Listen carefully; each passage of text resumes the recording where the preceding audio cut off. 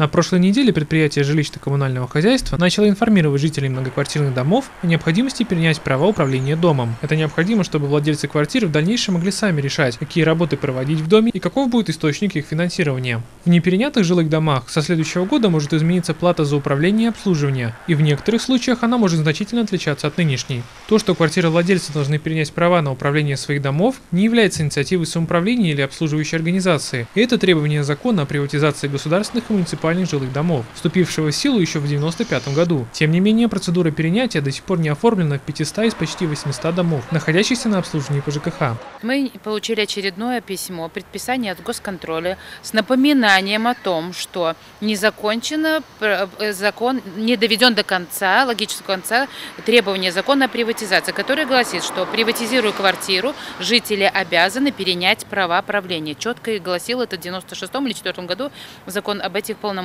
Своей со стороны ДЗКСУ неоднократно созывала собрание с предложением перенимайте права правления, надо так и так, потому что это требует закон.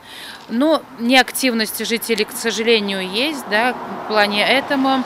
И на сегодняшний момент мы, беря во внимание последнее письмо, полученное от госконтроля, разослали всем домам, где не переняты права правлением, прошение, что давайте э, выполним до конца эту эм, этот вопрос, перенимем права правления и будем полно, полноценными собственниками своего дома. ЖКХ ежегодно проводит техническое обследование и визуальную проверку домов, на основании которых определяет, какие именно работы по ремонту и содержанию необходимы в каждом здании. На данный момент проведение таких работ и источник их финансирования согласовывается с жителями. Со следующего года ситуация изменится. Возможность отказаться от предложенных работ по ремонту, восстановлению или перестройке жилого дома, а также принять решение о порядке и способах оплаты будет только у домов, перенявших права управления. Это не накладывает никаких дополнительных обязательств, но позволяет самостоятельно решать хозяйственные вопросы и претендовать на софинансирование финансирования дома и государственной программы «Алтум». В свою очередь для домов, которые не примут право управления, плату за управление и обслуживание с 1 января 2022 года будут начислять согласно правилам Кабинета министров номер 408, согласно которым в случае, если по ЖКХ во время обследования констатируют существенные повреждения в конструктивных элементах или инженерных коммуникациях, предприятие вынуждено будет включить расходы на ремонт в тариф по обслуживанию. К тому же плату за проведенные работы жителям придется производить в полном объеме, без возможности привлечения софинансирования. Для покрытия расходов по ЖКХ будет иметь право использовать также средства из накопительного фонда дома. Тариф на обслуживание 2022 года будет опубликован на домашней странице по ЖКХ с 15 октября этого года, согласно правилам Кабинета министров. Однако жители призывают изучить вопрос и начать процедуру перенятия своевременно.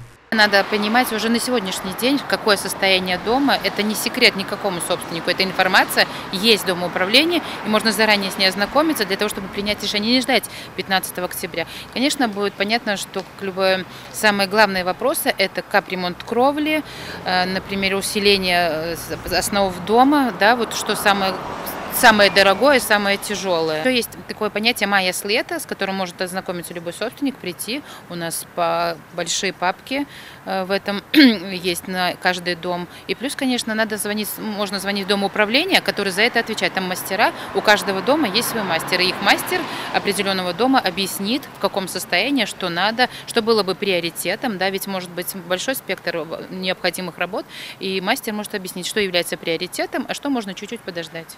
Для принятия решения о передаче прав управления необходимо провести собрание или опрос собственников квартир и получить 50% плюс один голос квартировладельцев в поддержку решения и подписать договор полномочий управления домом. Инициировать собрание опрос имеет право любой собственник квартир или управляющий домом. Специалисты предприятия предоставят всю необходимую информацию для организации собрания или опроса. Получить полную информацию о том, какова ситуация именно в вашем доме, как организовать опрос жителей, а также ответы на все остальные вопросы, связанные с принятием прав управления домом, можно у специалистов по По телефону. Вся необходимая информация также опубликована на домашней странице по ЖКХ. Сюжет подготовил отдел общественных отношений и маркетинга Даугупилской городской думы.